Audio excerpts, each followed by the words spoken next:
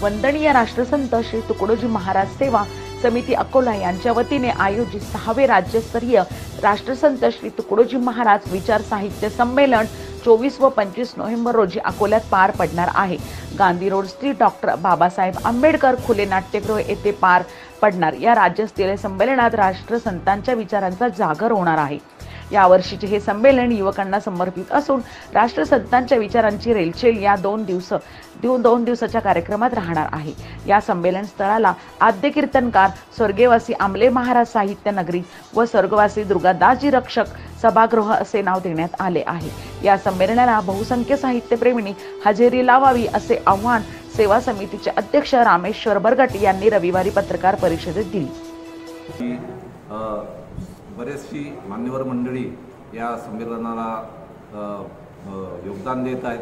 त्यामध्ये अनिल दादा वांडे यांचं मोठं योगदान असल्यामुळे आम्हाला यावर्षी अतिउत्साहानं हे संमेलन पार पाडण्याचा एक संधी प्राप्त झालेली आहे.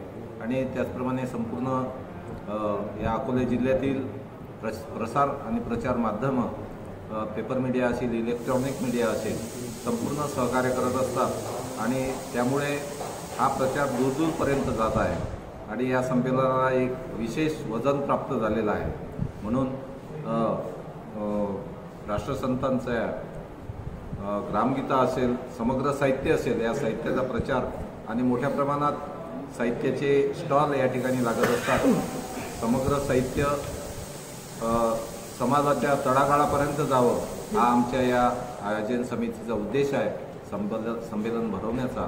म्हणून सर्व लोकांना आवाहन करण्यासाठी आज ही पत्रकार परिषद या ठिकाणी आयोजित केलेली आहे. मोठ्या प्रमाणात इतर समाजातील लोकांनी सहभागी व्हावं हा एक दृष्टिकोन या संमेलनाचा आहे आणि या पत्रकार परिषदेचा सुद्धा आहे.